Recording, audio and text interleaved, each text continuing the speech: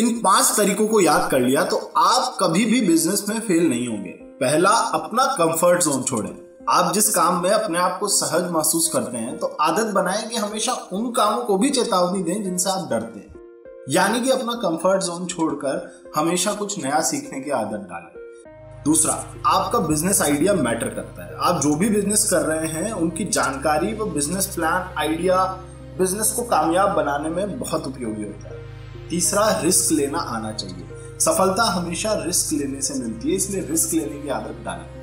चौथा, अपने ऊपर आत्मविश्वास रखें। अपने ऊपर विश्वास बनाए रखें कि आप जो भी कर रहे हैं, वो सही है। यदि किसी कारणवश वो गलत भी होता है तो आप उसे संभाल लेंगे और परिस्थितियों को हाथ से जाने नहीं देंगे। पांचवा, मार्केट की जानकारी रखें।